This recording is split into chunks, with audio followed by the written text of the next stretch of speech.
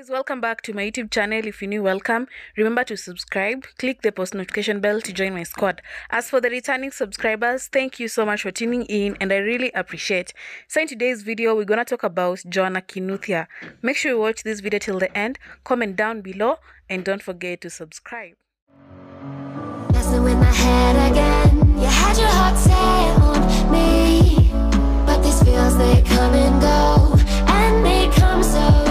yesterday, Joanna Kinuthia celebrated her birthday party and she was turning 27 years old. She captioned this, let me just quote here. I'm usually not the biggest birthday celebrator, but this year I have decided to do something. And guys, you can also look at the cake and you realize that it's very unique. Personally, I've never seen such.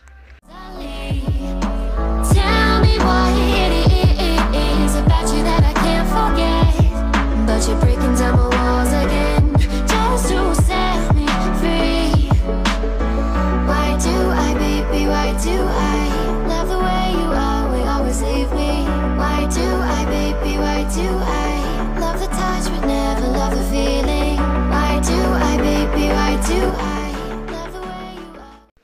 Joanna Kinuthia decided to seal her birthday party with a kiss from Chris Kaiga, and this time she wasn't drunk. It was a genuine kiss. And guys, remember last year when I think it was her birthday party, her 26th birthday party, she kissed uh, Chris Kaiga when she was so drunk, and people trolled her everywhere. You know, she didn't like it at all.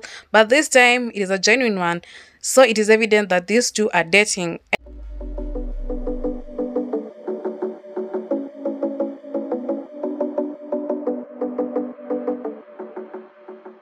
It is so sad for Edgar Obare since he will never get to Joanna Kinuthia. And as you can see, guys, Joanna Kinuthia is dating Chris Kaiga and they're in love. So Edgar Obare will not get to Joanna Kinuthia. And you know, guys, that Joanna Kinuthia has been Edgar Obare's long-time crush, but he has never gotten to her. But it is what it is.